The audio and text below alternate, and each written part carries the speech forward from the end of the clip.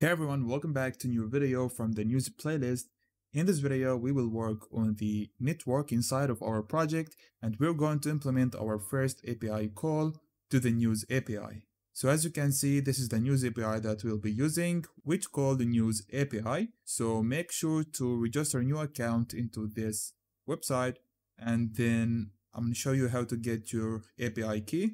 Just land on the home page of this website, then click on get API key or you can click on username from here and here's your API key. You can copy that and you can then use it in your API calls. So now let's get back to the endpoints we have for this API. So as you can see here, we have the endpoint section.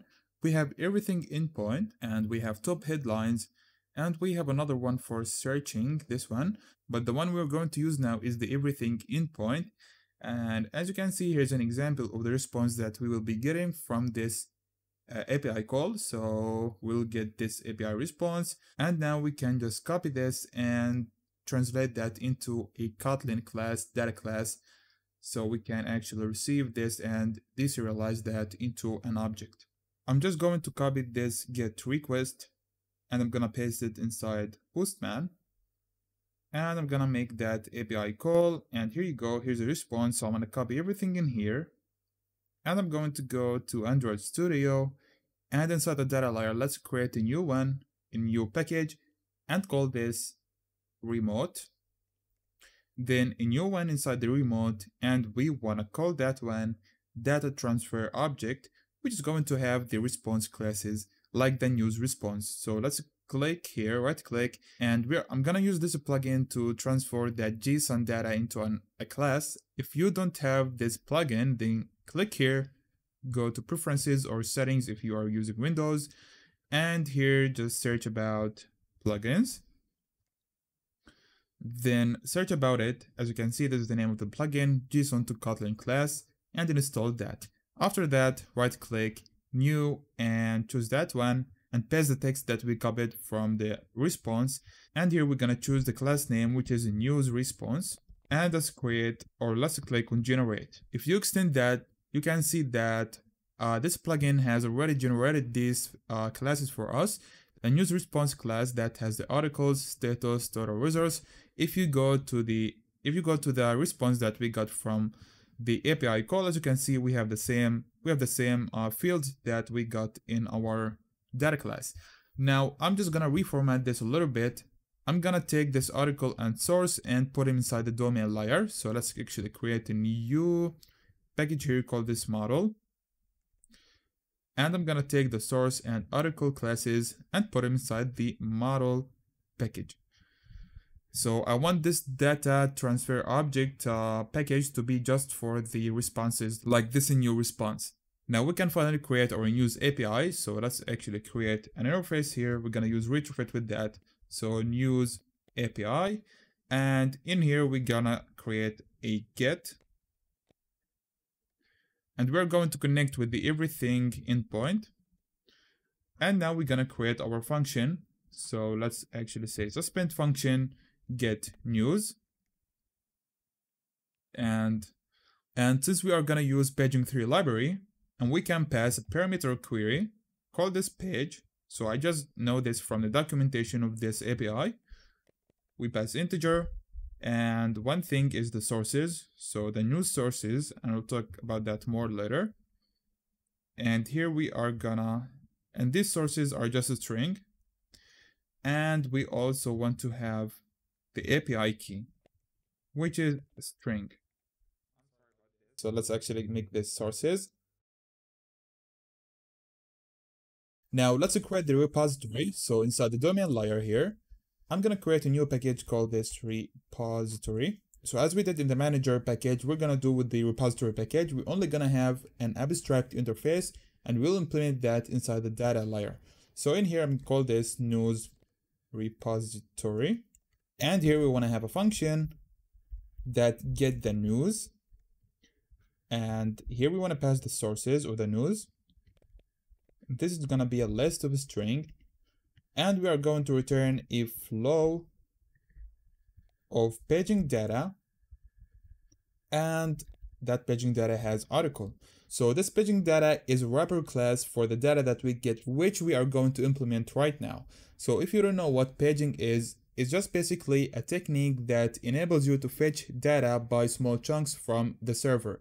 So in our news API, we probably have millions and millions of articles. If we want to fetch all of that together, then that will take an infinite time. And the solution here comes with paging. So we just specify how many articles we want to load from the API and then the API will respond that so that will actually help us to get faster responses. Okay, so now to implement paging 3 library, we're going to create a remote paging source and we're going to create that inside the remote package here. Let's create a new class and call this news paging source. Okay, so to be able to fetch the news, we want the news API. And we also want the sources, the news sources, which is just uh, a string here. And then we want to extend from paging source class, which is an abstract class. In here, we want to pass two values, the key, which is an integer. The key here represent the page. So this is just in most cases would be an integer. And the value, we would, we would actually receive an article from this API. So we pass article here. And now we are just need to pass the constructor here and implement two functions. The first one is onload and another one called get refresh key.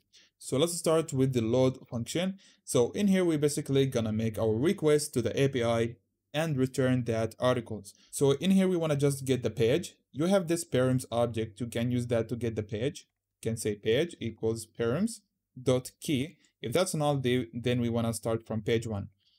And then we wanna return try and catch. And here we just catch any exception. Um, let me actually use the one that comes from Kotlin, not Java. So exception, this one.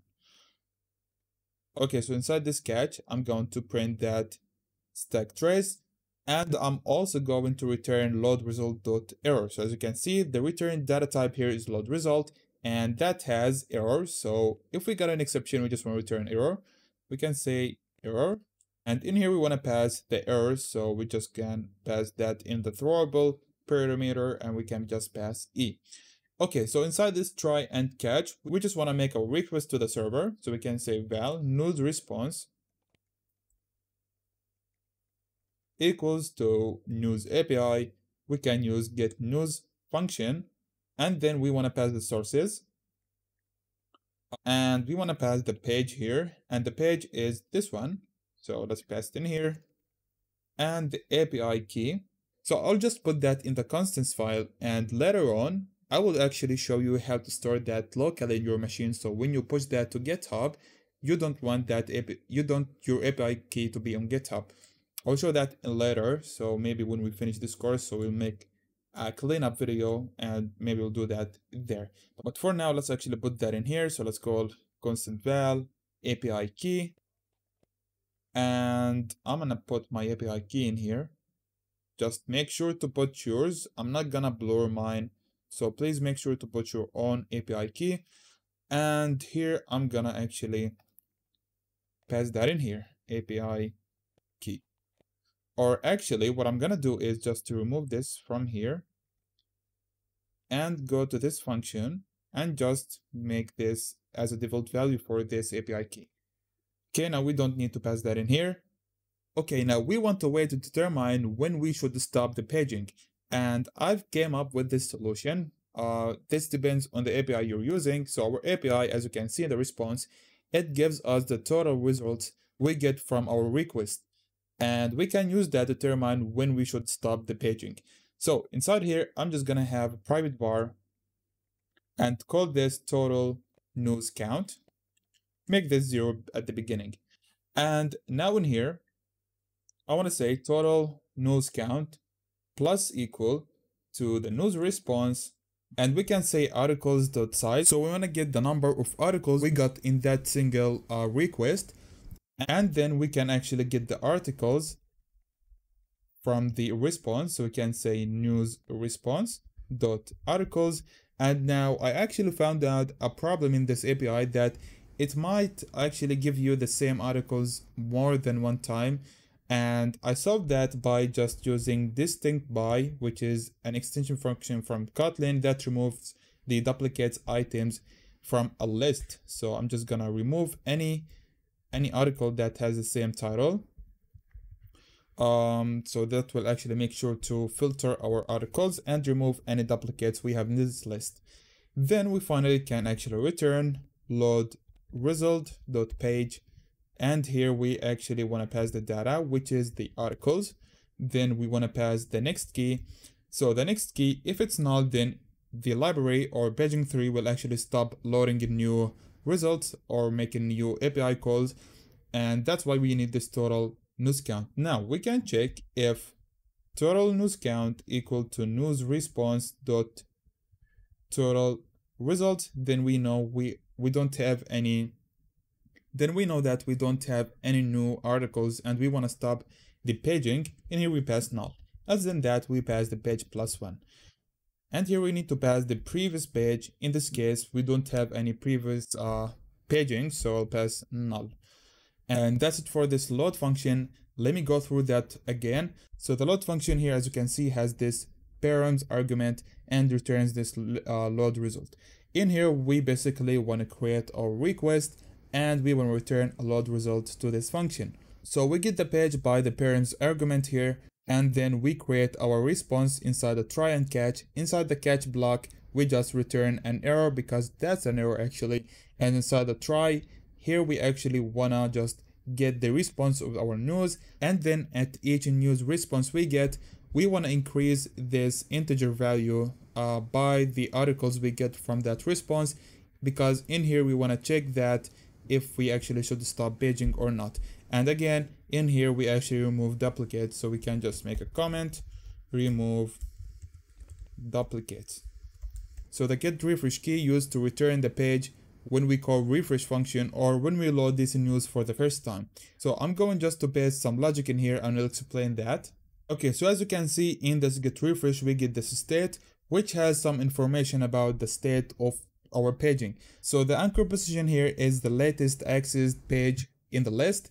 Then we have a null check here. If that's not null, then we want to get the closest page to that position. And then we will use this anchor page to get the key or the page. Uh, since we have current page, then we want to use previous page, then plus one. So this will actually give us the current page. If this null, we just get the next key and we subtract one out of that and if it's null then we actually gonna get one in here and just load the first page. So that's how it works. So this refresh key will call the first time we load this news. And if the user requests to refresh the news explicitly but we don't have that in our app. So anyways now we can implement this news repository inside the data inside the data package. So let's create a new package here call this repository and let's actually create an implementation class with that uh, repository interface.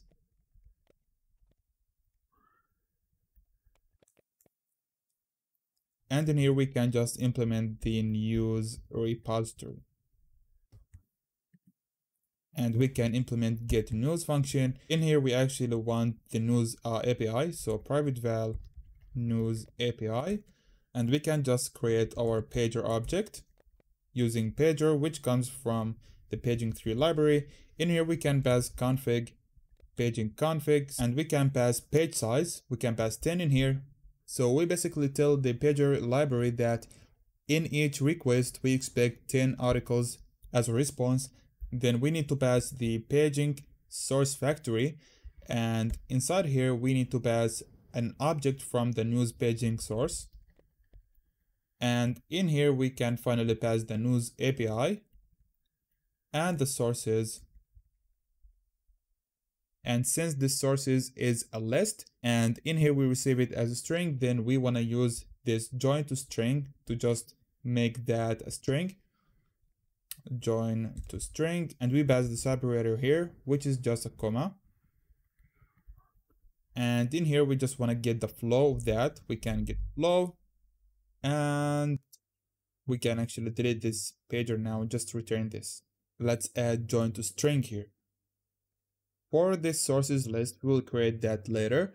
And now the last thing I want to do in this video is to create a use case for this function. So let's go to our domain package or domain layer and let's create a new package here. Actually, I'm gonna just reformat this or to rearrange this. I'm going to create a entry package and just put all of these inside it. Click on refactor. And now I'm gonna create a new package called this um let's call this a news. And then we can create a use a use case for this. Call this get news. So in here in this use case we want to have the repository.